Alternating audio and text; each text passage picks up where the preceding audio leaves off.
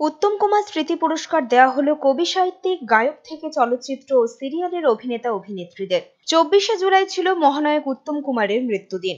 আর এই দিনটিকে স্মরণ করে বাংলা চলচ্চিত্র প্রচার সমিতি রাজ্য সহ জেলার বেশ কিছু কবি সাহিত্যিক, গায়ক, টিভি সিরিয়ালের বেশ কিছু নবীন প্রতিভাকে দেওয়া হয় বিশেষ সম্মান।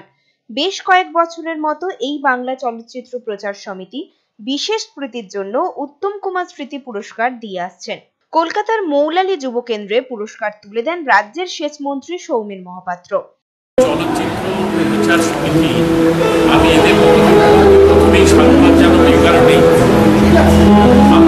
অনেক জায়গায় যেটা বললাম মহা মহানায়ক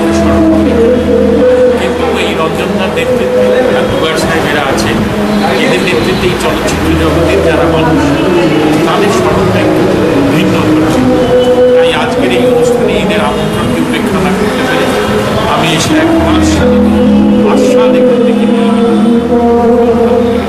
এদিন গায়ক সনজিৎ মণ্ডল পরীক্ষিত বালা থেকে শুরু করে শিশু শিল্পীদের পুরস্কৃত করা হয়। পাশাপাশি জেলার বেশ কিছু খ্যাতনামা কবি সাহিত্যিক বাচিক শিল্পীদের হাতেও পুরস্কার তুলে দেওয়া হয়। আজকের অ্যাওয়ার্ড ভালো লাগছে। আমি এটা তো সবাইকে নিয়ে মহানায়ক উত্তম কুমার। মাননীয় মাননীয়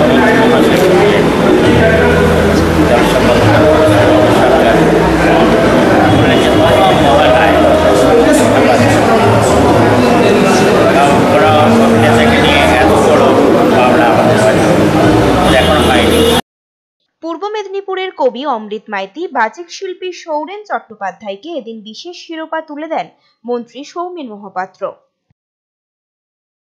Bureau report, news RCBS